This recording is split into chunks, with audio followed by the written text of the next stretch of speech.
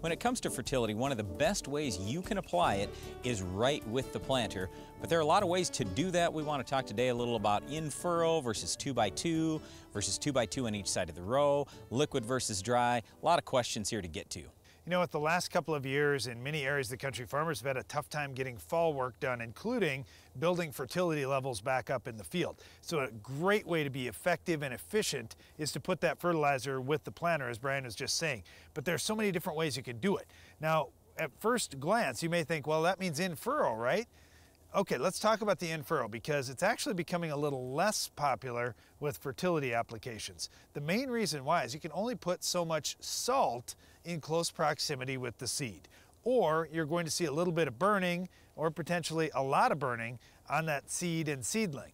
So when you think about this, if you're putting salt near the seed, well, the seed needs moisture to germinate and to grow, but salty fertilizer is going to attract moisture as well. So it's really uh, a situation where you can, uh, you can tolerate some fertility rate in the furrow, it just can't be too much. Well, where Darren's going with this is the fertilizer could pull moisture away, especially if it's dry fertilizer. So number one, we never put dry fertilizer in the furrow. Number two, if we're going to put liquid fertilizer in the furrow, that's fine. You just have to use a low salt product and keep that at a low rate. That's really the big key. Now, Darren said burning. Okay, I want to be more specific than that. What we typically see is poor germination, or if you do get germination, then the seed will come up, and a lot of times, eh, like corn, just as an example, the corn will wrap up, what we call buggy whipping, and I have very commonly seen 10-34-0 used at too high a rate. So in other words, I got a high salt product, used at too high a rate, and all of a sudden, we lose 30 to 50 bushels. You can't have that happen if you're going to spend money on fertilizer and have it cost you yield. The other thing, Brian, is there are some nutrients that aren't real safe to put in furrow, like boron and sulfur are a couple of really good examples, and a high rate of nitrogen would be another one. So those are important nutrients for me. I need to put them out there, and if I've got to use a planting time application to get a lot of my fertility work done, well, I can't do that in furrow, so I've got to do something else. So many farmers across the country for many years have gone to a two by two application. So moving two inches over from the seed and two inches down. Now it sounds like, well, wait a second, that's still pretty close to the seed. And you're right, that is still fairly close.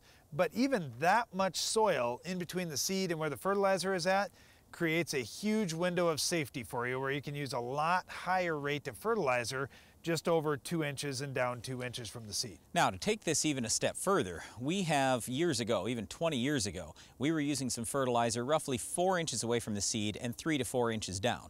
Today there are some farmers who will do this with liquid and they are two by two, but they're on each side of the row. So the point is to spread out more of your fertility when you're going with higher fertility levels. So let's say you've got a very low fertility field and you want to band because it's rented ground. You say, look, I don't want to build up the soil for the long term. I want to put it on with the planter, great. But there's only so much you can do in one spot. So you might do a little bit in furrow, you might do some in a two by two on the right side, some in two by two on the left side. So now you got three different places. So in total, you can end up with a lot more fertility there. Now the alternative, if you say, I just can't get my planter set up this way, but I do want to band and plant into that band would be to use a strip till either in the fall or in the spring. That's a good way, especially if you're mixing those nutrients up in the top six inches or so of soil to have a good fertility zone to plant into. So you may be asking the question, can I put all my fertility on with the planter? Well, again, it depends on the type of fertility that we're talking about here. If you're running a low salt fertilizer, and we're just talking about P and K and the micronutrients, absolutely you can do it. Now, I'm probably not going to recommend, if you're going for really high yield, that you put it all in furrow. Again, I would say two by two, maybe even on each side, and a little bit in furrow. But eh, again, it all comes back to low salt fertilizer. So for example, we use a lot of AgroLiquid fertilizer because it's low salt versus say 10-34-0 that's a high salt product. So you have to be really careful about what you're doing there. What we typically do in our farm is we're always in a build program, it seems like, and we build by using broadcast. So we'll go out and broadcast some potash or MAP or something like that, or maybe some zinc sulfate, but then we feed the plant with some liquid fertilizer with the planter. So we're using both things because we're on a build program. We do not believe in trying a build program with the planter because a lot of times you'll end up overdoing it and actually hurting the crop rather than helping. Well, with anything that we're talking about here, it, we want to be cautious of that. We don't want to do anything that's going to hurt the crop and hurt our yields. So as we're talking about this, using a planter to put fertility out, it's great in so many circumstances, especially if you weren't able to get out in the field any other way, or if you're concerned about, you know, conditions are tough. I want to make sure wherever I have fertility, I'm planting and I know exactly where that fertility is in relation to the seed.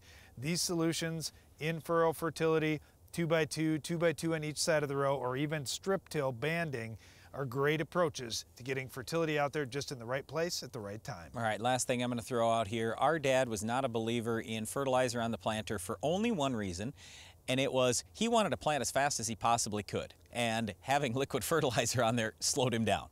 Well, look, I get that, that you want to get over a lot of acres, and early planting absolutely pays.